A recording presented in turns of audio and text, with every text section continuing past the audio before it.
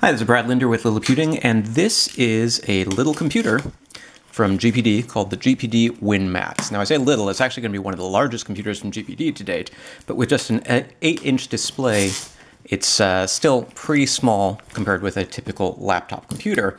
And it's really designed to be a handheld computer because in addition to working like a laptop, it, uh, it has built-in game control buttons so that you can use it to play video games.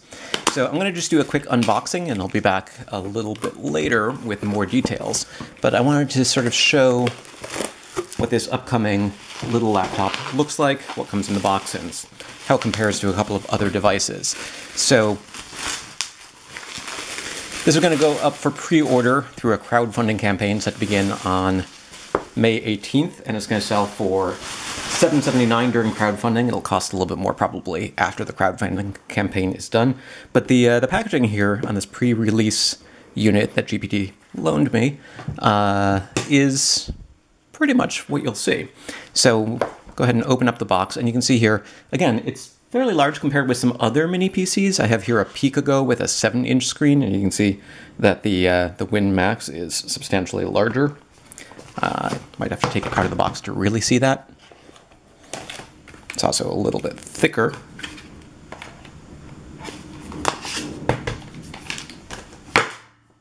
So Picogo again in the front with a 7-inch screen versus the 8-inch Win Max in the back. But the Win Max is going to have a larger keyboard, a larger display, those built-in game control buttons, and so forth.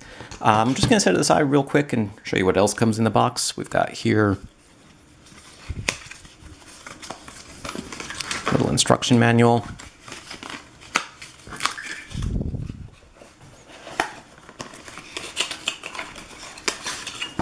Sixty-five watt power adapter USB Type C.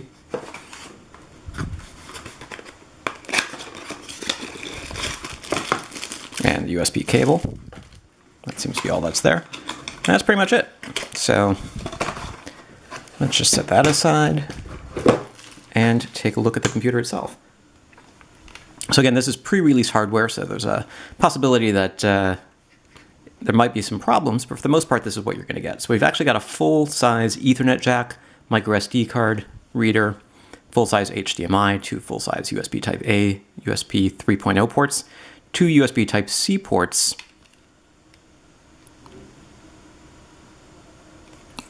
and a switch on the side, which is for toggling mouse mode or game controller mode. So I'll show you that in a moment. I also wanted to confirm that yes, one of these is actually a Thunderbolt 3 port, so you should be able to use it with external graphics, among other things.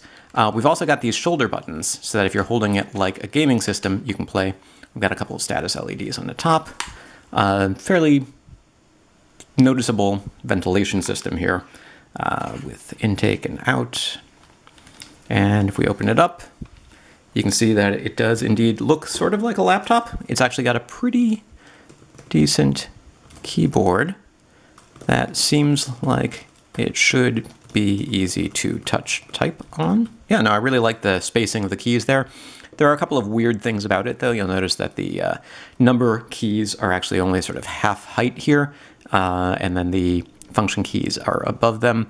So we've got uh, one, two, three, four, five, six rows of keys, but that top one, these keys are really two for uh, for what you would expect from a full size one normally here. Uh, in the bottom right hand corner, we've got the arrow keys, again, sort of half height up and down, and full size left and right. But overall, the layout seems pretty good. Uh, once I start actually using it, we'll see how that actually holds up. Uh, caps lock key is sort of half size here. The tab is, um, eh, I guess it's not the worst position, but it's sort of just above the Q instead of off to the side here. Um, we've got just a single Alt button, it looks like, but we've got Shift keys on both sides. So that's a look at those features. Uh, just noticed we've also got a mic and a headset jack here on the front, and then, of course, these game control buttons. Uh, the analog sticks, I don't know, they feel a little bit on the small side to me, and the D-pad is also kind of small. So the idea is that you can really sort of hold it, you know, put it on your lap, put it on a table, do some real typing. You can do gaming that way, or for games that require controllers, you can just pick it up and play like that. Now there's also a touchpad above the keyboard, because obviously you'd need a larger device to fit it beneath. Um, so as opposed to other sort of portable computers that you might want to use with games, you might have to attach uh, detachable controllers, or you might have to use a plug-in controller or a wireless controller. This has them built in, which means that you're really going to have them with you all the time. So there's no mistaking this for anything other than a machine that's meant for gaming. In terms of hardware, it's got a 8-inch 1280 by 800 pixel display. It has an Intel Core i5 1035 G7 Ice Lake processor with Iris Plus graphics, and it's uh, got 16 gigs of RAM, 512 gigs of storage, Wi-Fi 6, Bluetooth 5, and uh, that HDMI port that I showed you before is an HDMI 2.0B port. It's got a 57 watt uh, battery. Power button up here, select Xbox and start buttons. Let's see if we can power it up. And uh, just for comparison here, again, I'm going to bring up that Picogo so you can see a 7-inch device next to this 8-inch device. Obviously, uh, touchscreen display. Obviously, this is a much larger device, but it's still pretty small by typical laptop standards. Let me see if I can find the mute button. A little sign in here.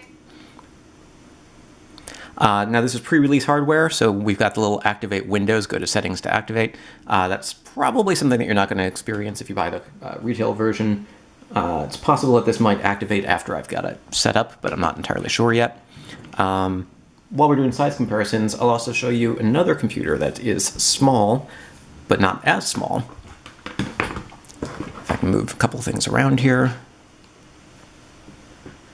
We've got a Dell XPS 13,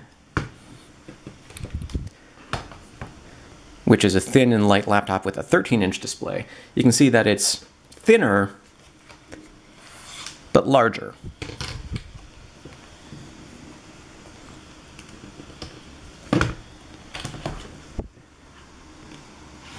So that's the sort of size difference that you're looking at between a 13.4 inch laptop with thin bezels. This one's a little bit chunkier, uh, but it is obviously a smaller device and something that's going to be a little bit more comfortable to hold in your hands, I think. Uh, let's see if we can get through this quickly.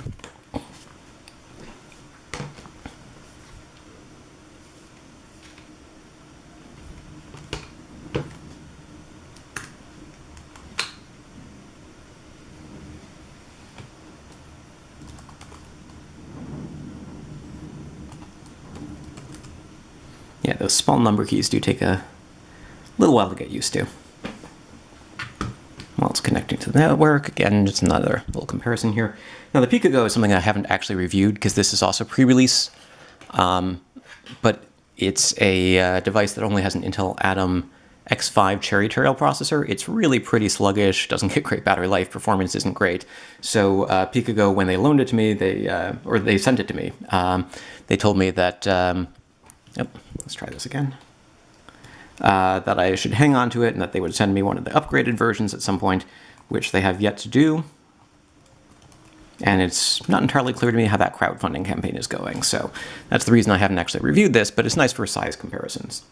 Uh, it might take me a little bit longer than I'm anticipating here to connect to the internet here. This is one of the reasons I don't typically do unboxing videos, but I know that this is a, a, computer a lot of people wanted to know about, so I figured I would get to start right away before I've had time to start playing with it.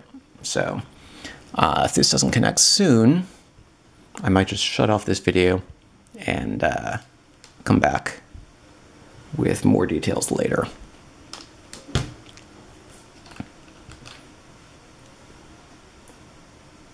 It weighs about 1.8 pounds. It has active cooling. You saw the ventilation on the bottom. Uh, it's got two fans and two heat pipes under the hood. And for some reason, maybe the caps lock is on.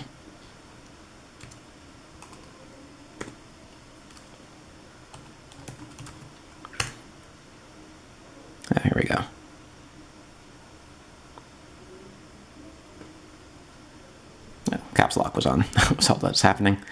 Um, all right, so now it's uh, it's going through these uh, setup.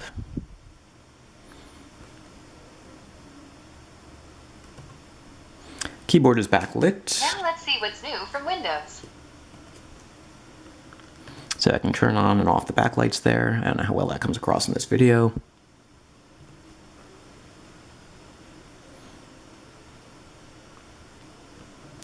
Screen brightness can be adjusted.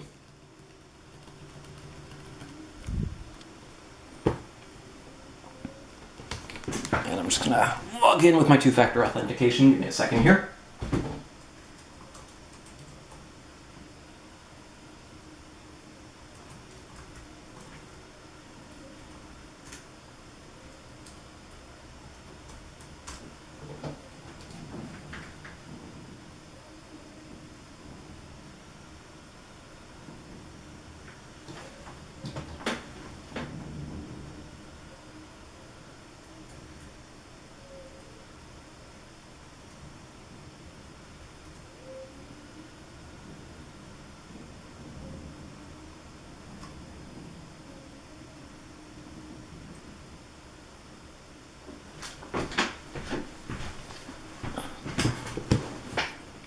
Create a pin.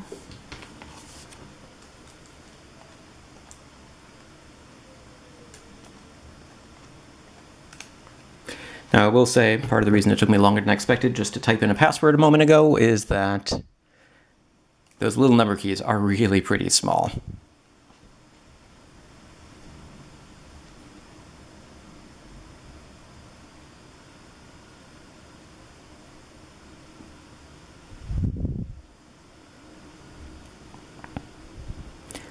So if you are going to use this primarily for gaming, uh, anything that it requires a lot of text entry, text I think is fine. Numbers might be a little bit trickier.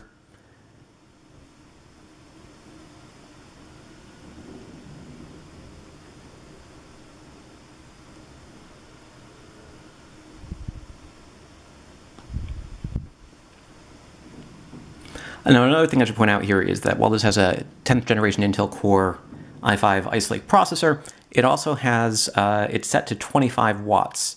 So that's a 15 watt processor normally, but it can be configured upward. And in this case, it is configured for 25 watts. You can adjust that in the, uh, the BIOS, I understand. So you should be able to hit delete during boot up to get into the BIOS and adjust the voltage. So if you want to prioritize uh, battery life and performance stability, you can do that. If you want to prioritize speed, you can do that as well. I don't know if you can hear this but the fans are kicking in a little bit. And while we're at it, I'll also show you if I flick that switch, I think I should be able to make a mouse move. No? No, not seeing any mouse cursors move.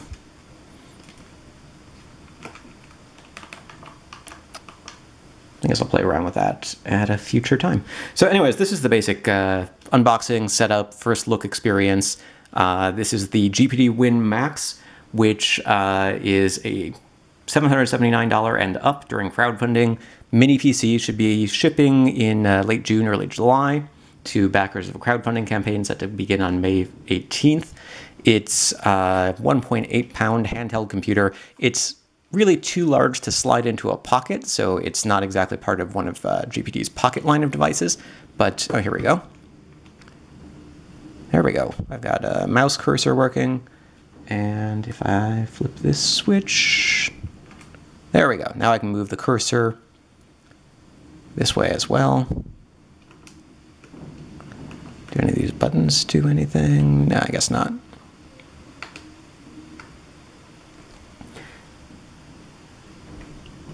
And let's dim the screen a little bit so you can see what I'm doing. There we go, left button.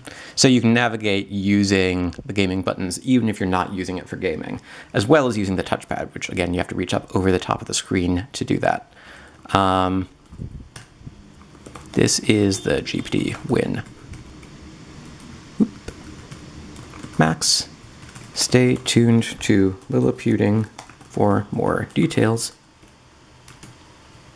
coming soon.